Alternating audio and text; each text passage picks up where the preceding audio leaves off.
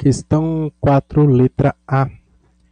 Na questão 4, letra A, a gente tem aqui uma espécie de filtro, né? Aqui, se eu não me engano, aqui a gente tem um, um cone, e aí dentro do cone é, tem uma certa quantidade de água, e aí essa quantidade de água parece que ela desce aqui e acaba pingando nesse reservatório aqui. Beleza? A princípio, no início, a gente não precisa muito saber disso, né? Mas vamos lá, vamos, é, vamos ver o que, que precisa na letra A. Na letra A, ele pede o raio da superfície da água no filtro. Pediu para usar isso em função de x, né? Então, o que ele está querendo é esse raio aqui, ó. Vou marcar aqui, aí se eu botar aqui um Rzinho beleza? É uma questão assim bem tranquila, talvez seja difícil interpretar o desenho, o desenho é, é meio sinistro, mas se você olhar aqui, bem aqui a gente tem um cone, né? E aí eu vou redesenhar aqui, fazer um desenho para a gente observar isso aqui em corte, né? Eu desenhei primeiro ele 3D, bonitinho. Agora, se a gente observar em corte, a gente tem o nosso filtro ele tem um formato mais ou menos assim. Como ele falou que é um cone reto, se a gente traçar a altura do cone, essa altura tem que dividir o diâmetro da circunferência ao meio, beleza? Então aqui vai ter um raio e aqui vai ter um raio. Tá, aqui eu desenhei a estrutura inteira, né? Mas bem aqui embaixo vai ter o nível da água. Então vamos lá, vamos observar a estrutura aqui. O raio do cone, a gente sabe, o raio do cone é 5.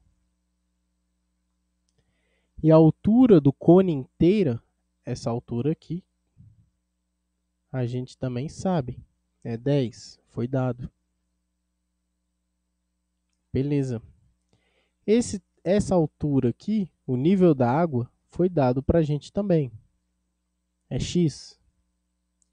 E o que ele pede é para a gente encontrar o raio no nível da água. Então, é esse Rzinho. Se você observar aqui, o nível da água também faz 90 graus com a altura. E aqui eu tenho um ângulo esses dois triângulos, esse aqui, ó, esse grandão e esse pequenininho aqui, os dois têm um ângulo em comum e outro ângulo de 90 graus.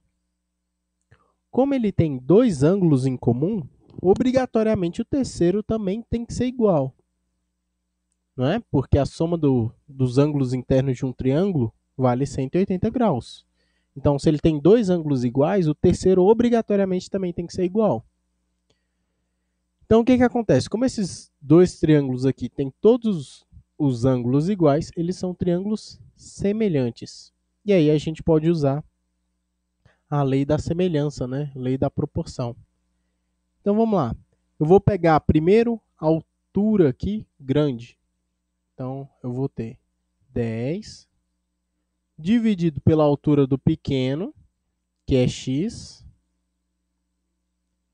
é igual ao o raio né, do grande, que é 5, ou esse tamanho do grande, que é 5, dividido pelo do pequeno, que é r. Beleza? Como a gente estava procurando o r em função de x, a gente acabou de conseguir, né? Passo esse para lá multiplicando, esse para cá multiplicando, passo 10 dividindo e aí a gente encontra o que a gente queria. Então, r de x, passei esse para lá, esse para cá, 5x dividido por 10. Acredito que dê para simplificar por 5, né? Então, rx é igual aqui por 5, aqui embaixo fica 2. x sobre 2. Então tá aí, a gente conseguiu encontrar o raio do nível da água em função da altura da água. Beleza? É, é isso que o problema pedia. Um problema bem tranquilo, né? Assim, era mais você conseguir observar essa semelhança de triângulos dentro desse cone. É, isso assim é mais experiência com triângulos, com figuras espaciais. Geralmente você vê isso no terceiro ano do ensino médio, né? No terceiro, do, terceiro ano do ensino médio, geralmente você trabalha muito com cilindro, cone, esfera. Então tá aí a nossa questão.